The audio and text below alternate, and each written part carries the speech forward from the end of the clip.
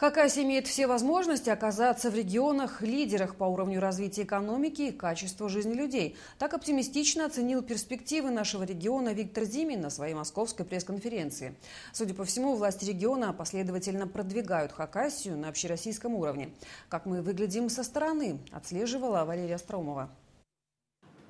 У республики есть недорогая электроэнергия, развитая сеть дорог и промышленность. И если грамотно использовать бюджет и убедить вкладывать капиталы в хакасскую землю, можно достичь любых целей, даже на первый взгляд трудноисполнимых, уверен глава республики. Через пять лет Хакасия не будет просить дотаций, она сможет сама себя содержать, заявил Виктор Зимин.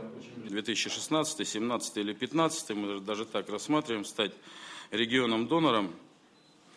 Это не сама цель стать регионом-донором, что-то за этим стоит, для чего-то это, для чего-то это надо. Но прежде всего это благосостояние населения.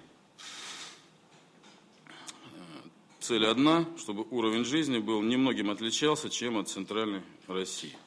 Зимин последовательно делает ставку на сельское хозяйство. Он считает это нашим огромным ресурсом, прежде неиспользованным, и строит планы по новому агроосвоению региона, развития скотоводства и переработки. Более того, новые свинокомплексы, мясокомбинаты, коневодческие хозяйства уже спроектированы. Нужно привлечь деньги в реализацию. На поддержку сельхозпроизводителей власти выделяют рекордные суммы. И это уже заметили на федеральном уровне.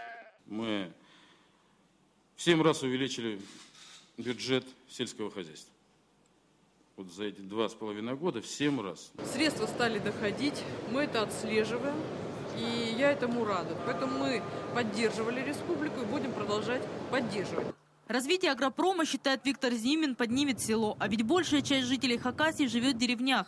Для них сейчас строятся дома, больницы, школы и, конечно, дороги. Подытоживая разговор с журналистами, Виктор Зимин сделал им заманчивое предложение. Правительство готово грантами поддержать те СМИ, что будут говорить об успехах Хакасии на всю Россию. Валерия Страумова, новости, седьмой телеканал.